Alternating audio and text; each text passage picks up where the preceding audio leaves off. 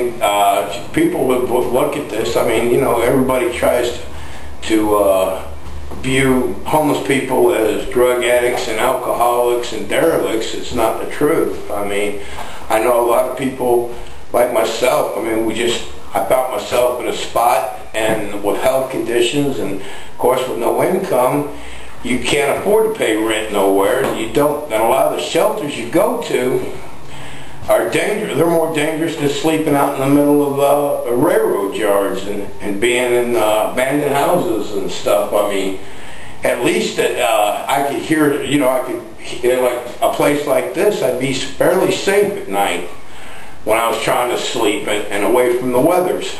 In a place like this, is we're in a, we're stay, staying in an abandoned house in downtown Nashville for people who can't tell what what your surroundings I mean, it's not like it's something that you want to do. It's pretty, matter of fact, being homeless is pretty humiliating because, uh, you know, uh, you go, you know, like, you just not have no money in your pocket and you're hungry or, and you're going down.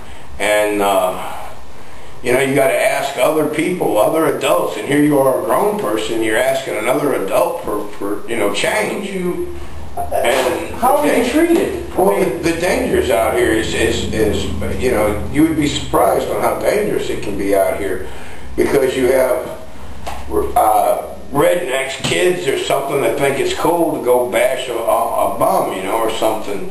And uh, But do you consider yourself a bum? no, because I worked. I mean, I kept a regular job and I worked a, a large part of my life.